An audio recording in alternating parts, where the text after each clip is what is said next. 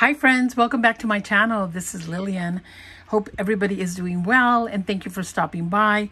I am here to share a project and this is from Scrap Diva Designs. It is the Beach Ball mini album. I've been seeing so many projects out there like with all the dies but um and i've had this actually project on sitting on my desk for quite some time. I've just haven't had a chance to make a video until now. Um but this is a great mini album.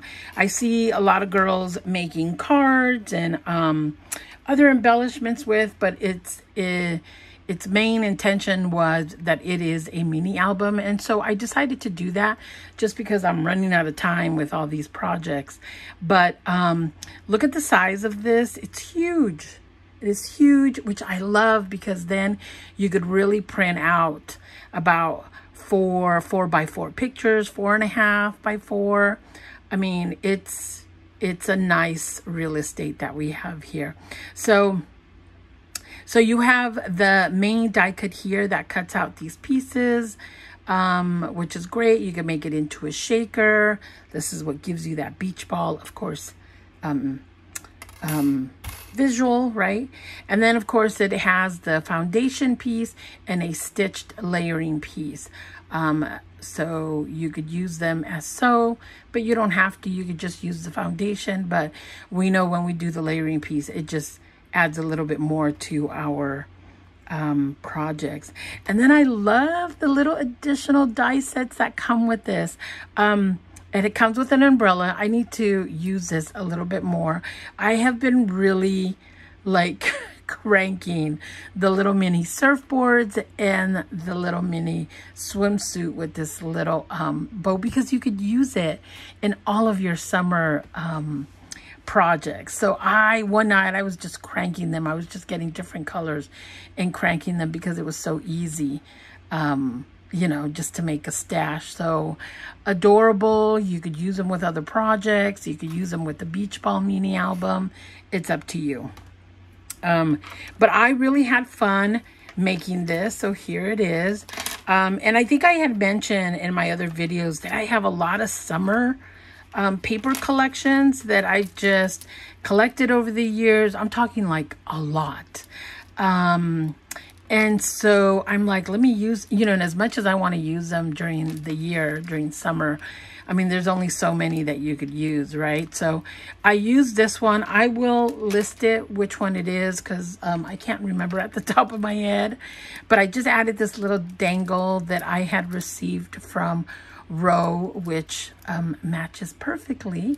So I decided to add it. But all the stickers, um, the ephemera, they are from the paper collection. Of course, I did use some of the die sets, like as you could see here, the um, bathing suit from the Beach Ball Mini album.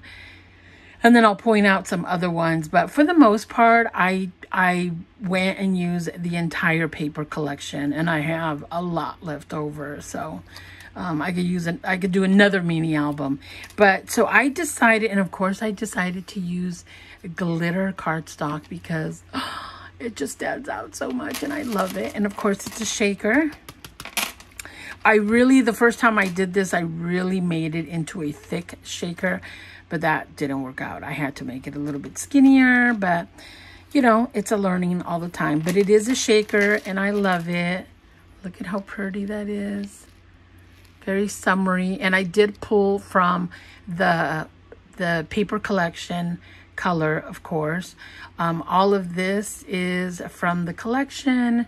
Very summery. Of course, I had to use in the front the bathing suit, so appropriate.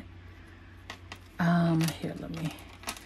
And I use, um, I was thinking of making it bigger. That's why I use this um, one and a half inch ring. Um, but that's okay. I didn't make more. I think it's still pretty chunky, as you could see. Um, and so look at the space here for picture. I love it. Can't wait to fill it. I'm going to give it as a gift. Um, maybe to someone and fill it already with with pictures. Um, but look at the cute little flip-flops. And I know I could have done um, her Scrap Divas mini flip-flop die sets, but they would have been a bit too big. And I really wanted to use the paper collection, but it would have been totally appropriate here. Um, but look at how cute. All the stickers again from the collection. I did make this rosette from the paper collection because I love rosettes. I added a little sentiment on the bottom with the flip-flops on top. That way it'll give room for the picture here as well as this page here. And then this next page is the bubbles page. And I used the swimsuit here because it was so cute. And that yellow pops. So I really liked it there. And then I added this fun. Look at that space. Nice. Here, let's... I mean, I'm going to be able to print out four wide, depending on, and then tall, about four. So that's a pretty nice size, nice size picture. Yeah, I'm really, really digging these big mini albums from Scrap Diva. The flip-flop one was perfect, and now this one. Look at this paper of watermelon. How cute is that? And it's matching paper. I did this little rosette and added the watermelon and I made this little basket that if I wanted to um, insert any type of paper or picture, I can. Super cute. And then here we have the popsicle kiwi paper. Look at how cute that is. And then here I use the stickers, but the strawberry is a die cut that I decided to add it just to give it a little bit more, bring out that strawberry color out. And if you notice, which I haven't haven't said, I did stitch each one of them in the gold. I just had to. It's been a while that I've been that I haven't been stitching, so I thought, oh, well, this is easy. They're circles. So let me go ahead and do that really quickly um, just to give it a little extra. And I think it does. And then here's this. So again, you know, really quickly to put these together because it's a mini album. So there's only so much, um, at least for me, embellishment um, to add because I really, again, want to leave room for the pictures.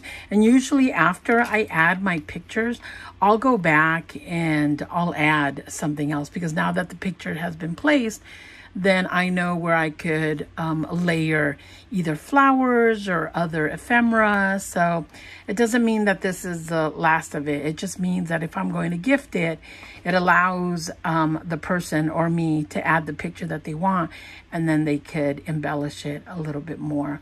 So I love the matching pictures um, uh, that the collection has. I purposely, you know, made sure that they stayed together. Look at how cute this is, right? Yeah, I, I can't remember at the top of my head what the collection is, but I will list it there.